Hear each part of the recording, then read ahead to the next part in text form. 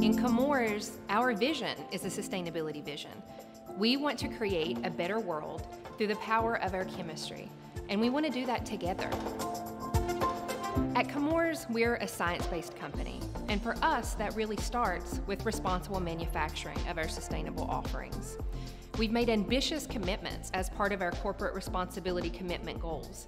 Those include significant reductions in greenhouse gas emissions, as well as emissions of fluorinated organic chemicals. It's going to take advanced technology to achieve these goals.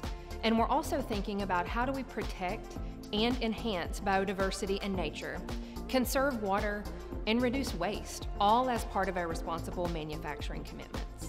I'm incredibly proud of the progress that we've made to date on our own corporate responsibility commitment goals, and also in the reaffirmed commitment to the United Nations Sustainable Development Goals. So far, we've realized that annually, about half of our revenue comes from products that make a direct contribution to those UN SDGs.